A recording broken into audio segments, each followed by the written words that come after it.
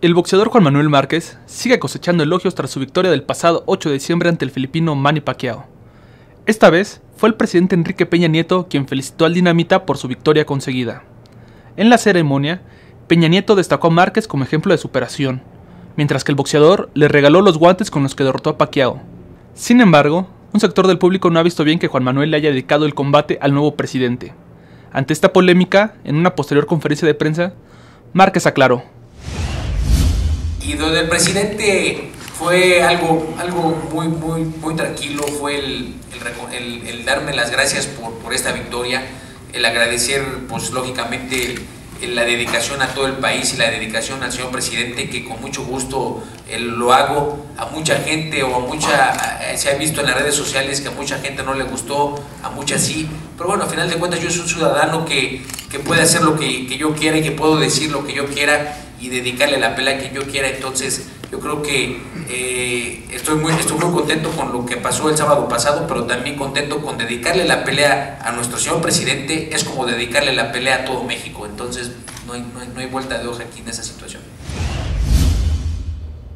Al ser cuestionado sobre sus planes a futuro, en un principio declaró que su principal interés está en apoyar a las jóvenes promesas del boxeo pues no, no es mi, tirada, ¿no? es mi tirada meterme de lleno a la política, mi tirada es apoyar el deporte, mi tirada es estar ahí eh, al pendiente de los, de los muchachos que digo que vienen empujando fuerte, que le echan ganas y que quizás no tengan el apoyo para poder continuar. Para mí es eso, eh, poderles brindar ese apoyo para que hagan de su sueño una realidad, que es muy importante porque muchos muchachos que, independientemente del deporte que se dediquen, muchos muchachos tienen las facilidades, tienen la, facultad para poderlo hacer, pero no tienen los medios, que es lo importante, y por qué no darles ese empujoncito que necesitan, es lo que me gusta. Y yo, en este caso, yo como boxeador, pues empujar a mis colegas que, que pues aquí en México somos gente luchadora, gente emprendedora, ¿por qué no echarles una manita? Pero al responder, ¿se aceptaría una invitación para incorporarse al equipo de trabajo del presidente Peña Nieto? Márquez dijo, pues, ¿a quién, a quién, a quién le dan pan que llore? simplemente con una simple y sencilla razón, de ayudar a mi país. Para después explicar el porqué de su apoyo a Enrique Peña Nieto en las pasadas elecciones. Mira, yo quiero que quede claro y lo voy a decir a los medios de comunicación y se los voy a decir aquí.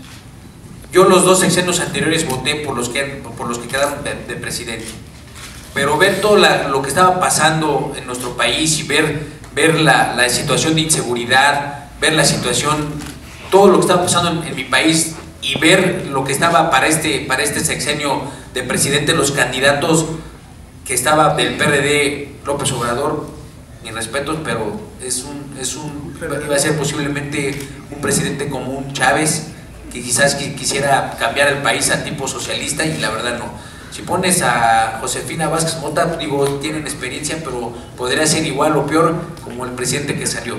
Entonces yo creo que Peña, Peña era la mejor opción por lo que había hecho en el Estado de México, por querer hacer las cosas bien, y lo que quiere nuestro país son las cosas bien hechas, y lo que quiere son resultados. Entonces, lo que queríamos, lo que dijimos y lo que pensamos, que incluso hace un año me puse el logotipo del partido por mí. No hubo nada que, que influenciara o no hubo ningún, ningún ofrecimiento para yo ponerme ese, ese logotipo, que lo hice por iniciativa propia, que no respetaron la libertad de expresión fue otra cosa, pero a final de cuentas yo quiero un bien común para mi país, no nada más para mí ni para otra gente, sino para todo el país que, que es México. Márquez precisó que sigue meditando su futuro inmediato y todavía no sabe si peleará nuevamente. Con imágenes de Esteban López para Récord TV, Lázaro Montaño.